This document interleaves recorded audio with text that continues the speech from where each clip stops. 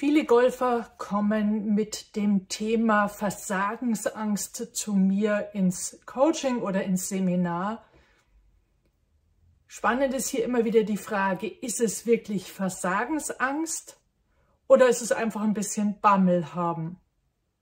Ich hatte heute einen Auftritt in der Rosenheimer Stadthalle auf der großen Bühne und ich war aufgeregt. Ich hatte Bammel. Ich war schon äh, etwa zwei Stunden vorher aufgeregt.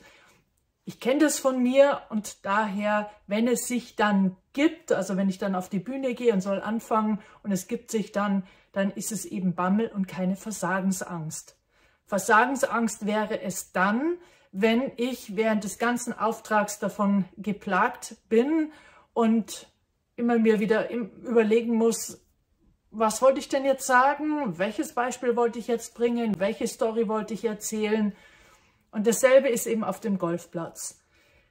Denn wir brauchen ja für ein Turnier den Flow, denn nur im Flow ist Höchstleistung möglich. Und der Flow liegt zwischen den beiden Polen.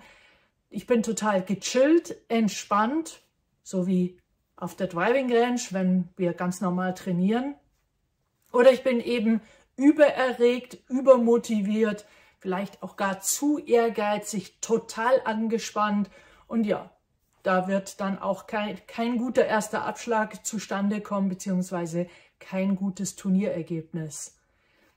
Mir ist nur wichtig an der Stelle für sich herauszufinden, festzustellen, ist es wirklich Prüfungsangst, Versagensangst und ja, diese Ängste sind der Feind Nummer eins des Golfers.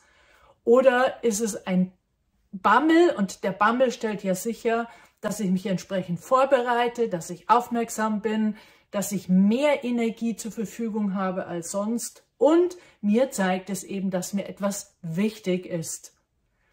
Und sollte es jetzt Versagensangst sein, dann schau dir andere Videos dazu an oder melde dich bei mir und dann schauen wir im Coaching, es gibt so viele verschiedene Techniken, die dir dabei helfen können, dass diese Versagensangst, Prüfungsangst sich in einen Bammel verwandelt. Denn das Ziel kann nie sein, dass du total gechillt bist und total relaxed, denn dann wird das Turnierergebnis auch nicht das sein, was du dir wünschst.